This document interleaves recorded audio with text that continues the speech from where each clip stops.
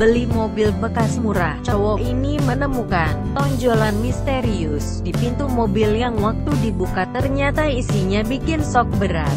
Ada seorang pria bernama Jack asal Amerika yang pergi ke toko mobil bekas untuk membeli sebuah mobil second. Meskipun mobil second bisa dibilang lebih tua, tapi tentunya harganya jauh lebih murah daripada mobil baru. Jack kemudian menjatuhkan pilihannya pada mobil bekas murah yang harganya hanya 2000 dolar Amerika Serikat saja.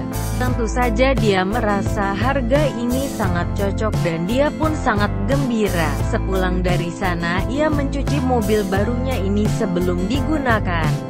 Tapi kemudian dia menemukan ada sesuatu yang aneh di salah satu pintu mobil tersebut ada sebuah tonjolan yang aneh dan misterius yang seharusnya tidak ada di sana. Jack kemudian berpikir, mobil sebegitu murah kalau sampai ada kerusakan apa pun juga dia pasti bisa terima, karena harganya saja memang sudah sangat murah, jadi dia juga tidak berharap mobilnya sempurna.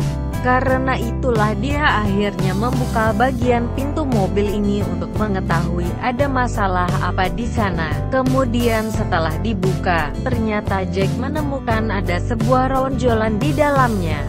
Dia pun merasa semakin curiga dan aneh. Ia menemukan kemasan hitam yang cukup berat di dalamnya. Dengan perasaan penasaran dan sedikit takut, dia pun membukanya dan menemukan sesuatu yang langsung membuat kedua kakinya lemas. Ternyata, waktu dibuka, dia menemukan setumpuk uang yang jumlahnya sangat banyak. Sebenarnya uang siapa ini?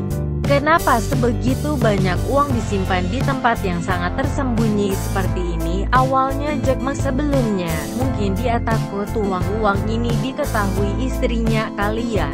Makanya dia menyembunyikannya di tempat